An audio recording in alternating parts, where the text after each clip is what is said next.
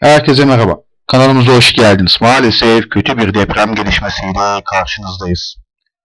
AFAD ve Acil Durum Başkanlığı tarafından yapılan açıklamada Konya'nın Karatay ilçesinde deprem meydana geldiği ifade edildi.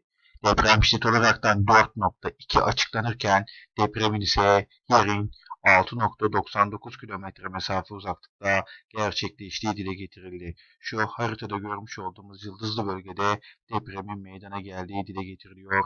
AFAD tarafından yapılan açıklamada 24 Nisan tarihinde oluşan depremden alakalı. Buradan öncelikle Konya'ya, Karatay'a hisseden bütün il ve ilçelere geçmiş olsun dileklerimizi iletiyoruz.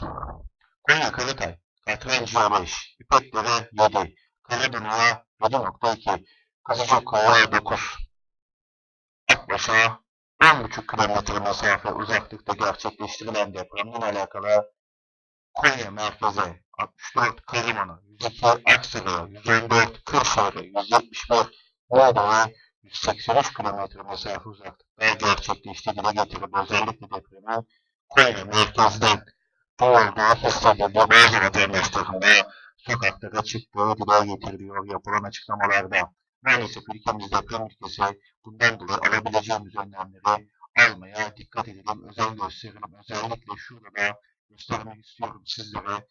E, Cumhurbaşkanlığı Mevzuat Bilgi Sisteminden Türkiye Bina Deprem Yönetmeği ile alakalı bilgileri lütfen okuyunuz. Binanız buna uygun değilse gerekli tedbirlerin alınması konusunda gerekli uyarıcılara başvurmanızı öneriyoruz. Yorumlar sizin. Sonraki videolarda görüşmek dileğiyle şimdilik hoşçakalın.